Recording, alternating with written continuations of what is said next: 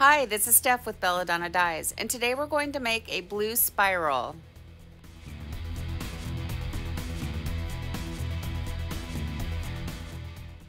Start by smoothing out all of the wrinkles and then decide where you want the center of your spiral to be and just give it a little pinch. And I'm going to be using the microwave splatter guard. So it's really important that you put the top of the splatter guard down flat against the shirt because that's what's going to create the pleats. And for this one, I'm using a modified fork because I know some of you don't have hemostats. So this is just a inexpensive fork from the dollar store. And I've had two of the tines bent backwards by Bo.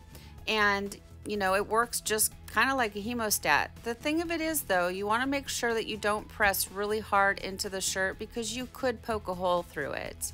And you just give it like a couple twists and then with your opposite hand, create the spiral.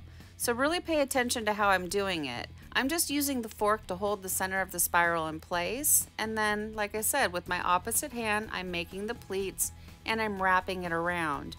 And you wanna go as far as you can until, you know, that you just can't go any further and then you want to gently wiggle the fork out while you hold down the center of the spiral. Otherwise, you run the risk of pulling the whole spiral out with you and you're going to have to do it again. And I really don't like doing things twice.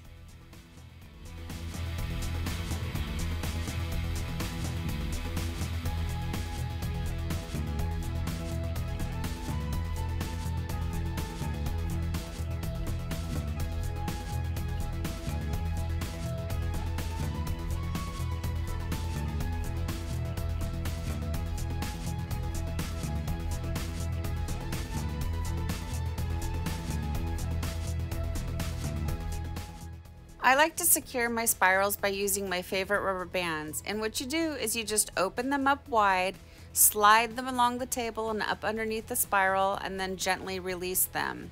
And then I like to create a nice tight spiral, so I'm going to pull on all of the loose tails and tuck them into the nearest rubber band. And I will go around and around pulling on those loose tails until I pull on them and they don't move anymore.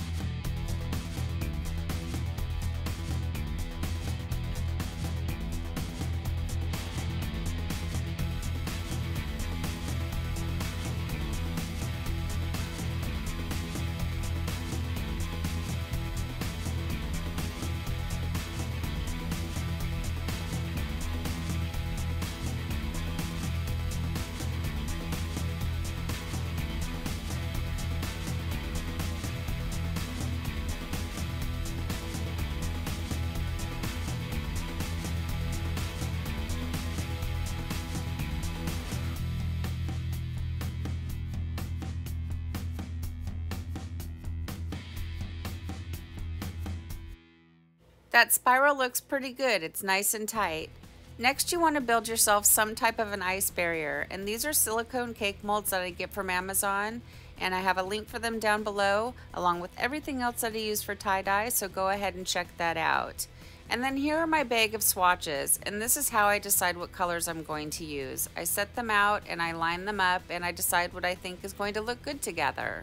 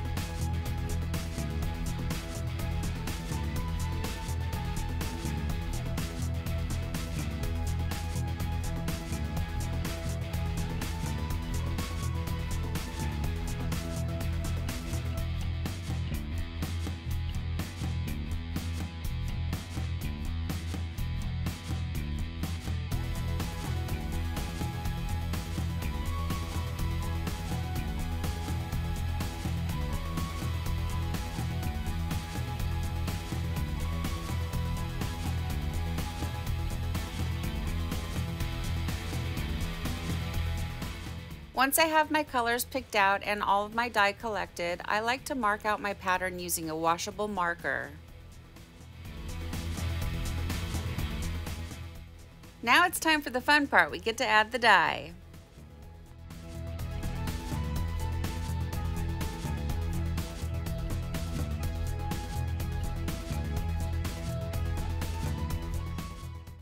I want this shirt to have full saturation, so I am adding the dye just a little bit heavy-handed. So I get asked quite a bit, how much dye am I supposed to use? You know, when do you know when enough is enough? And that really is just something that you're going to have to practice at in trial and error um, until you're able to find your own method. You know, something to keep in mind that you, you can always add more dye after the ice melts, but you can't take it away. So, for instance, if you are always having a lot of undissolved dye after your round of ice, you're probably adding too much. You know, that's kind of a good indicator. And if you have a whole bunch of undissolved dye and maybe you don't have full saturation on the back, go ahead and just give it a quick little sprinkle of soda ash and add another layer of ice.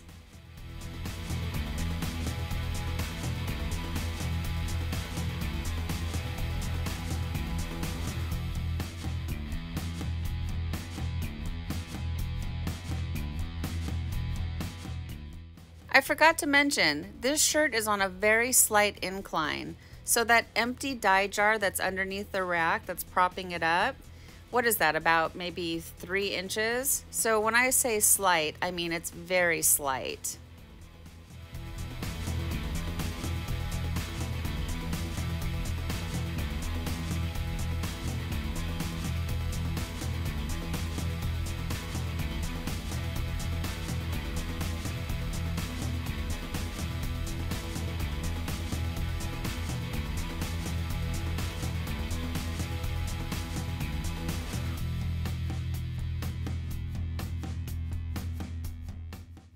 I just messed up on my dye pattern. Did you guys catch that? I didn't even realize it until right now as I'm editing the tutorial. So that's the one good thing about ice dyeing and spirals in general. They're pretty forgiving. And you'll see at the end in the reveal, it's really not that noticeable.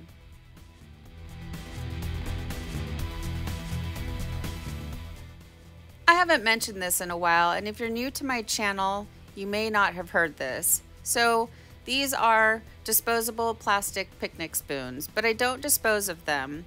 I take them to the sink when I'm done and I rinse them off really well and then I put them in the dishwasher and when they're completely dry, I stick them back in the box. Also, I use a different spoon in each jar of dye. I try really hard not to cross-contaminate my colors.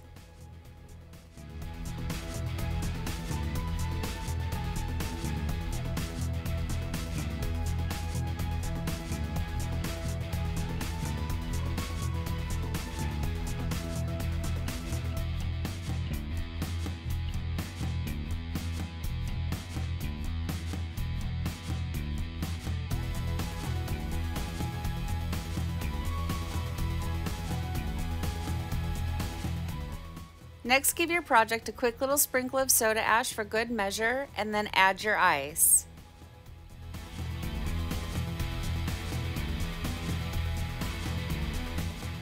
Since it's still winter and rather cool, I like to batch my projects for 48 hours after the ice melts. Ooh, look at how pretty that is. So I did end up batching this shirt for the 48 hours and I had it wrapped in an electric blanket. And I do have a tutorial on that if you're curious about what I'm talking about. All right, so now it's time for the rinse out. And you wanna start by using cold water. That's going to rinse away any soda ash that might still be reacting within the fabric and then increase your water up to hot and rinse until the water runs pretty much clear. From here, I take it to the washing machine and I do however many hot water cycles it takes using Kieralon. And usually in the second hot water cycle, I will scoop it up and look at the water and if it's you know basically clear I know that I'm ready for my final hot water cycle using Milsoft and Milsoft is a professional fabric softener and it does make things feel really nice. Um, and then I put it in the dryer and then I'll iron it and photograph it and all that and we'll come back and we'll see the results.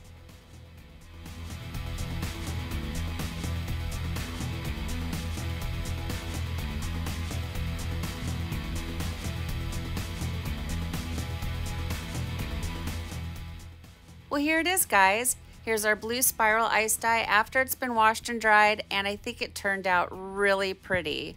Having it on that slight incline made those nice little pretty wisps in there. I really like that. And I love this color palette.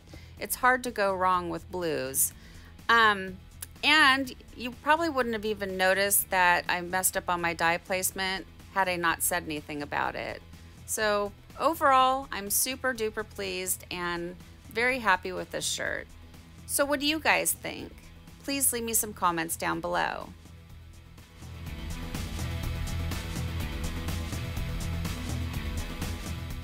Thank you so much for watching.